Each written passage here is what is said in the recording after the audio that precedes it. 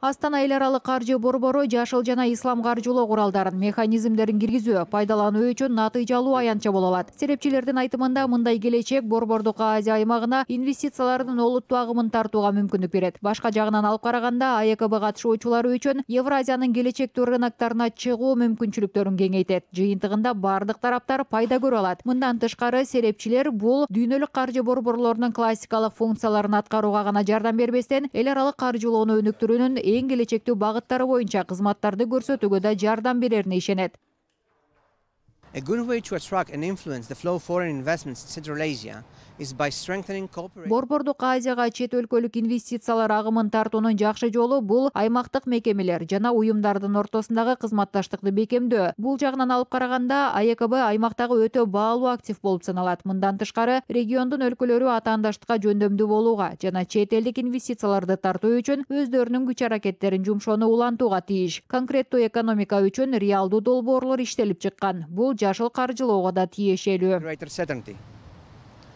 On the matter of the green finance, investors are increasingly decisive.